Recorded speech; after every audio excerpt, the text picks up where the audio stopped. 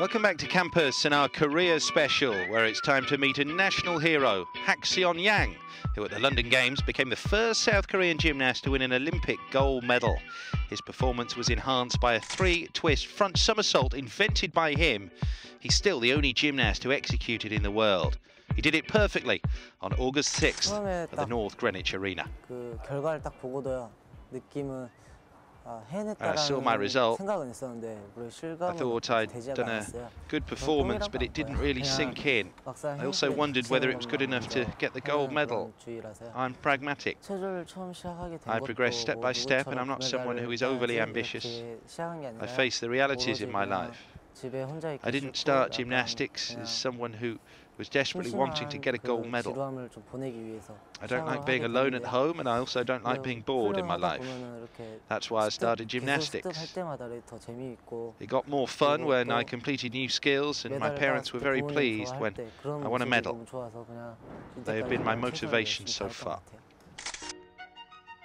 Born in Gwangju, Haxion Yang is now a student at the prestigious Korean National Sport University of Seoul, which has produced numerous Olympic champions. I've chosen the Korea National Sport University of Seoul because it's a place where I'm able to practice easily and there are lots of good teachers.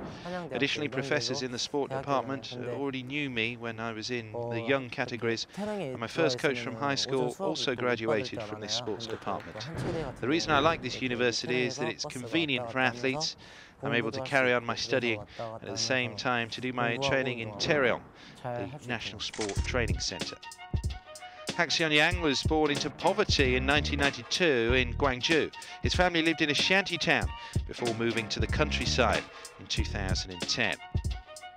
Hak still very attached to Gwangju wants to participate in the Universiade. Gwangju is my hometown where I was born and I grew up, so I'd like to show my performance to the local people. Watching gymnastics at the competition is totally different to watching it on TV, so I want to go to the Universiade to show my skills and the best performances. Many gymnastics champions like Evgenia Kanaeva, the double Olympic gold medalist from Beijing and London, took part in Universiades earlier in their career. Some, even after being crowned, at world level. 또 제가 올림픽 끝나자 이번 올림픽이 끝나자마자 이 다음 브라질 올림픽을 지금 The Universiade has an age limit of 28 among university 제 students. 목표를 세워놨어요. 앞에. In my opinion, this is a 그래서 good platform 어차피 for them before the World 2015년이면 Championships. 16년이면은 or the Olympics. 그 전이잖아요. 그러다 보니까 Universiades allow young 어차피 athletes to show their 브라질을 performances and 뛰려고 their true 하면은 level. 더 열심히 해야 되고 그다음에 열심히 The 하다 best 보면 또 university 되게 athletes from their 기량도 countries are 올라가게 selected. 되면은 또 기회가 and 오지 they're often the 않을까 best athletes in the 생각을 world. 가지고, 가지고 있어서 도전을 해보려고 생각 중입니다.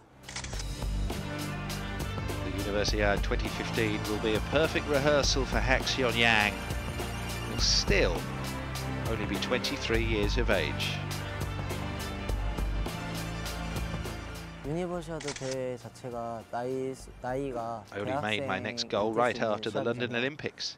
It means I would like to get the gold again in Brazil, so I'll continue to practice and prepare for the 2016 Olympic Games. If everything goes well, I'm sure that I'll be in good shape. The Universiade program fits perfectly with my training routine because I want the gold at Rio. Well, Hak Seon Yang knows there will be high expectations maybe more so than ever, in 2015.